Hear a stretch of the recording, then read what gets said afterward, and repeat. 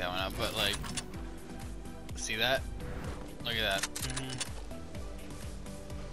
Yeah, that's that's a big jump. You get the idea. I'm not gonna pain you. I'm gonna pain you one more time.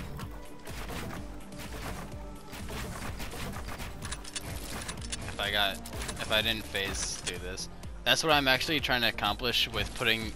That's why I'm not just putting the floor right there. That's why I'm trying to phase myself through this one right here, because then it gives me a little bit more space to jump from a flat. Because uh, when you're jumping from from down here, that's too low to be able to get the full height. Yeah. Dude, you serious? This guy's trying to sell this account for a hundred dollars because it has fucking